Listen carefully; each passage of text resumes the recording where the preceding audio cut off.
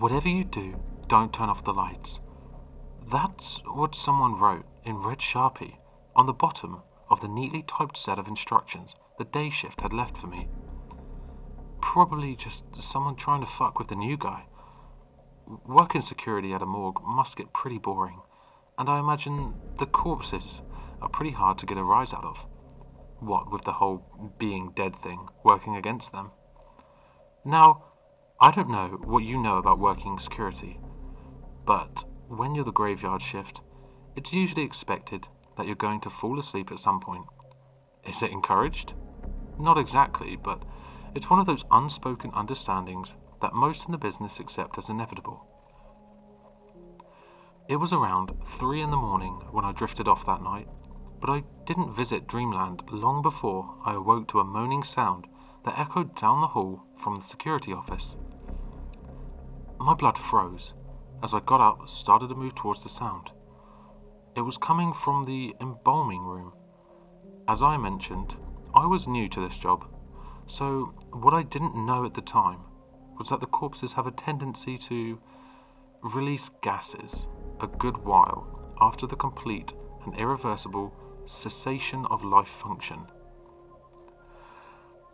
In short, a corpse will sometimes fart belch, or even sigh in the process of releasing any excess gas left over in the body.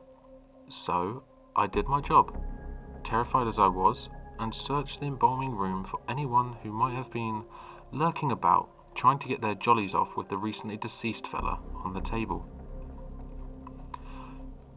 I wish that in my terror, I'd had the presence of mind to remember the warning the day shift had left for me in red sharpie.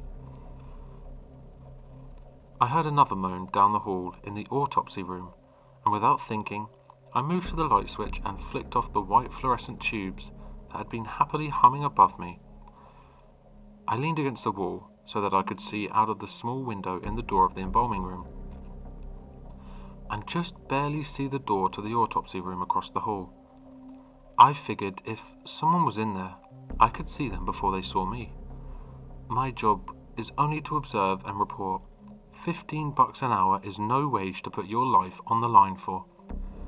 I stood there for a few minutes, wondering what the hell was going on, terrified that I might be bound for a confrontation with a necrophile, and thinking maybe it's time to find a new line of work.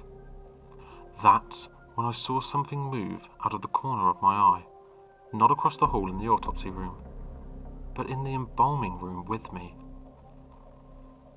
The stiff on the table was moving. First his head rolled to one side, and then his right hand reached up towards the wall where I was standing.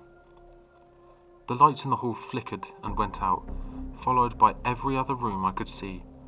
In the pitch black, I heard that same moan that woke me up only a few moments ago. I reached down and grabbed my flashlight from my belt and clicked it on pointing the beam in the direction of the stiff on the table, only to discover that the table was empty. My hair stood on end, and my skin was making a desperate attempt at crawling right off of my flesh as I anxiously scanned the room, fumbling blindly for the light switch with my three hand. I felt my groping fingers connect with something hard and clammy, like stones freshly pulled out of a mountain stream and I swung the flashlight around to see what it was. I screamed when I saw the face of the stiff a few feet from my own, and I threw myself backwards, crashing to the floor. I covered my face, anticipating some kind of attack, as I swung my flashlight wildly in front of me and pushed myself backwards until I was up against the adjacent wall. The embalming room was alight in an instant, and after a few more seconds of flailing and screaming, I mustered the courage to look around the room again. The stiff was back on the embalming table, as if he'd never moved to begin with. I got to my feet and gave the corpse a good strong poke with my flashlight to make sure it wasn't some kind of prank.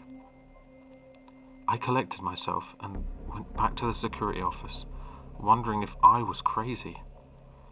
When I sat down in my chair, I happened to see the instructions that the day shift had left for me. Whatever you do, don't turn off the lights. Huh.